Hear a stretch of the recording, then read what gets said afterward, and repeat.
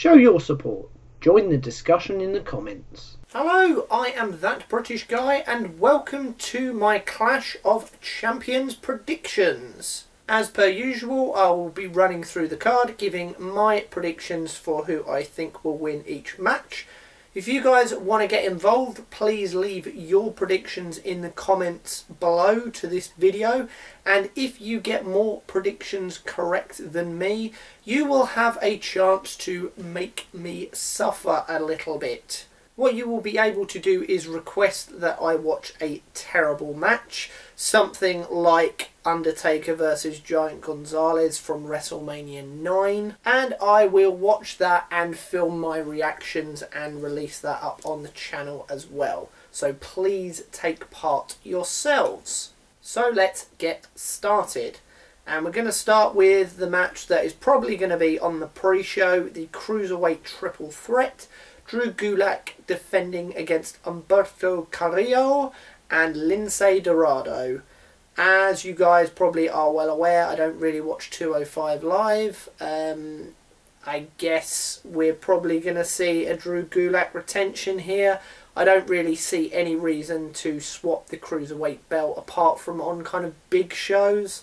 Maybe they'll do it at Survivor Series as that's the next big one, but for now I'm saying Drew Gulak retention. We could potentially see a second match on the pre-show and if we do it will probably be the women's tag team title match. Alexa Bliss and Nikki Cross defending against Fire and Desire, Mandy Rose and Sonya Deville. Not really a lot to this. Alexa and Nikki have only really just picked up the belts from the IIconics and are trying to get them involved on weekly TV a little bit more. So I think shifting them over to Mandy and Sonya is probably not going to be the best idea at this juncture. So I'm going to stick with Alexa and Nikki for this match too. Starting now with the kind of main bulk of matches and I will be doing these in a very specific order just so that I don't forget one of the belts because obviously there's a lot going on. Um, but before we begin in earnest with this section, uh, there have been rumours that the 24-7 championship will be kind of defended in some shape or fashion on the show. I'm sure it will probably just feed throughout the entire show, but my prediction is essentially that come the end of the night, R-Truth will still be the 24-7 champion. So there's a little bonus extra prediction there. In terms of the only non-title match on the card, we have Roman Reigns taking on Eric Rowan in a no disqualification match. Now, my initial thought before I realised this was a no disqualification match is that Daniel Bryan would somehow get involved and the whole thing would end in some kind of like big schmoz, therefore, sort of protecting Rowan in him not having to eat a loss. But obviously, as this is no disqualification, that's not really going to hold up.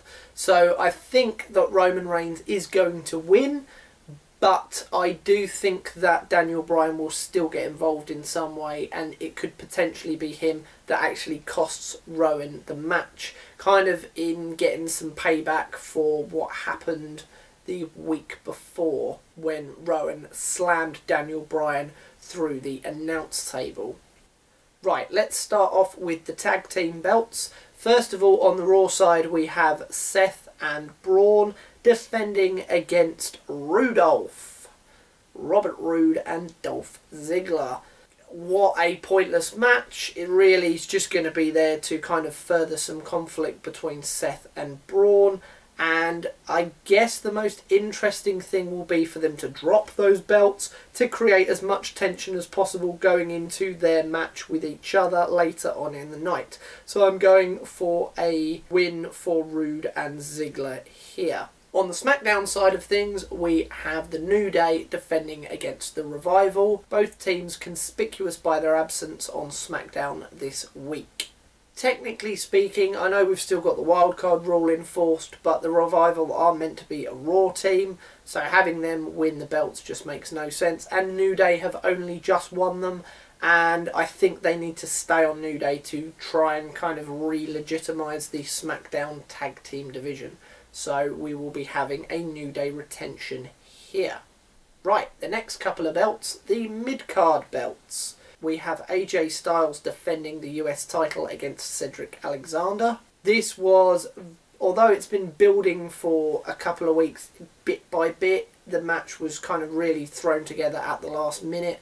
I can't see AJ dropping the belt to Cedric just yet. I'm sure this is just an opportunity for Cedric to have some kind of showpiece match with someone as established and as high profile as AJ to really get him over in defeat.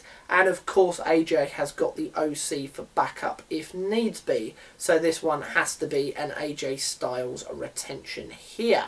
And over on the SmackDown side of things, Shinsuke Nakamura is defending the Intercontinental title against The Miz.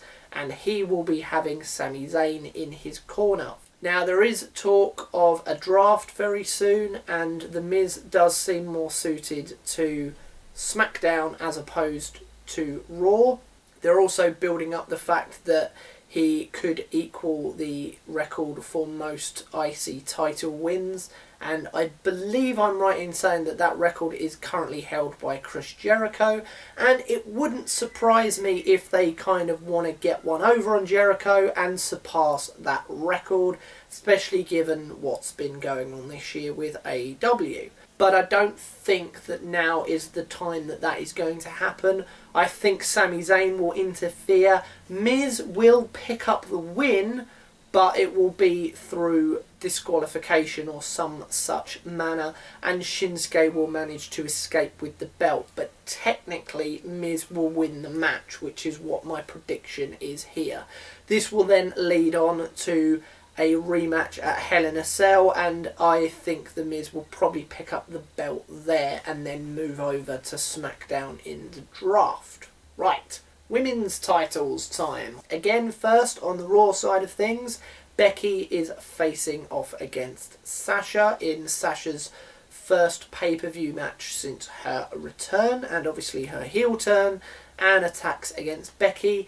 And I think here we are going to see a title change. Sasha needs to really be established as a dominant threat within the women's division, and I really feel like the wheels are starting to fall off on the Becky Lynch push and have certainly already fallen off with the title run. I think removing the belt from her and trying to get her to sort of start chasing the belt again is a lot more interesting. And again, we have the Sasha Bayley element. Are they going to help in each other's matches? Who knows? Speaking of Bayley, she is defending the SmackDown title against Charlotte.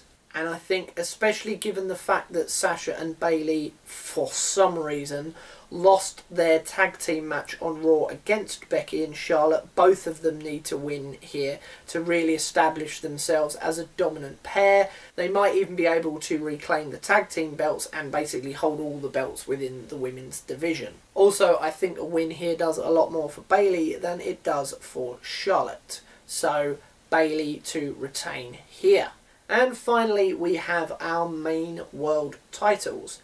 First off, Seth defending the Universal title against Braun Strowman. This obviously being after they have defended their tag team belts earlier in the night, or at least you would presume it would be earlier in the night. I can't see them taking the belt off of Seth Rollins already after he's only just got it back off of Brock Lesnar. Brock Lesnar only really took it off of him because of the whole Money in the Bank thing probably would have been better for Seth if he'd have held on to the belt in one continuous stretch since WrestleMania, but what can you do? There are also rumours here that the potential match against The Fiend at Hell in a Cell will actually be for the title, although I don't believe it has been officially announced as for the title. It's just been that he is going to face either Seth or Braun, so he could technically face the loser of that match. But if it is going to be for the Universal title. I think putting the belt on Braun and then immediately taking it off of him, or at least you would assume that The Fiend is going to win that as he is still so hot right now. Having him lose would be really stupid. So putting the belt on Braun and then taking it straight off of him again isn't going to do Braun any favours. I think it would kind of be better for all around for Seth to retain the belt. And then that leaves us with Kofi Kingston defending the WWE title against Randy Orton. And I think it is time for Kofi to finally drop the WWE title. Obviously, SmackDown is going to Fox very, very soon, and Randy Orton is much more of a name within wrestling than Kofi Kingston is. He is a much more established main eventer. He is a name that people that were watching that may have kind of lapsed from the product are probably going to recognise more than Kofi Kingston. So I think having him as the champion going into the Fox deal would make a lot more sense.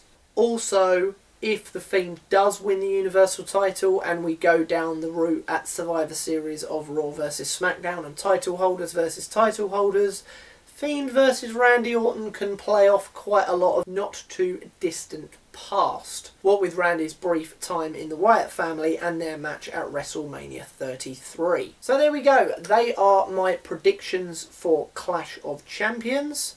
Please let me know your predictions in the comments below.